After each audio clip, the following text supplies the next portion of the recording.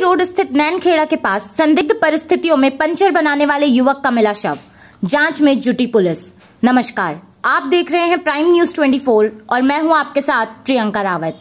बाराबंकी जनपद के कोतवाली हैदरगढ़ क्षेत्र अंतर्गत रायबरेली रोड स्थित नयनखेड़ा गाँव के समीप का है, जहाँ पर छह माह पहले से पंचर की दुकान चला रहे एक युवक का शव संदिग्ध परिस्थितियों में गाँव के बाहर झाड़ियों में से बरामद किया गया।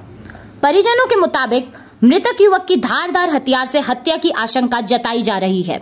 सूचना पर पहुँची कोतवाली हैदरगढ़ पुलिस ने शव को कब्जे में लेकर पोस्टमार्टम के लिए जिला मुख्यालय भेज दिया है। वहीं मामले पर पुलिस का कहना है कि प्रथम दृष्टि में सड़क दुर्घटना में युवक की मौत होना प्रतीत हो रहा है।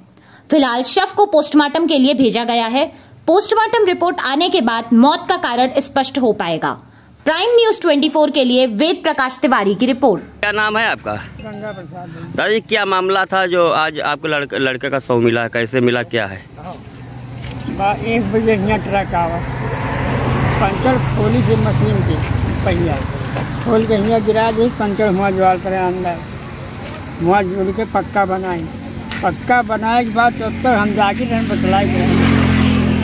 यहाँ बाहर आए हम जाना कि बाहर गए हैं? लेकिन ना लेटे रहें।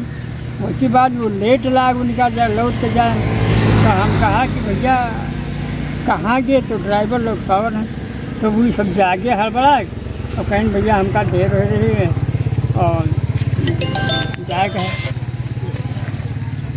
अच्छा। हाँ तो उसके बाद भैया फिर हम बाहर निकले तो फ़ोन लगाए फ़ोन स्विच ऑफ़ हो गया। फ़ोन उनका ऑफ़ तो कुल मिला के कितने समय की घटना है? कितने बजे की? यहाँ एक बजे मतलब पंचर जुड़त रहा जुड़ के बस अस्सी दस पाँच मिनट जब लाग जुड़े उसके बाद के बात आया। क्या एक मिनट शांत रहो। क्या अ, क्या नाम है आपका? मालती जी ये घटना कैसे हुई? कुछ आपको जानकारी है इसके बारे में? हाँ शाम को खाना खा के आए रात में एक बजे ही गाड़ी बना रहे थे। कुछ लोग बुला के उधर को ले गए वहाँ से वापस नहीं लौट के आए। अच्छा ये जो है क्या इनका पहले किसी से विवाद था क्या?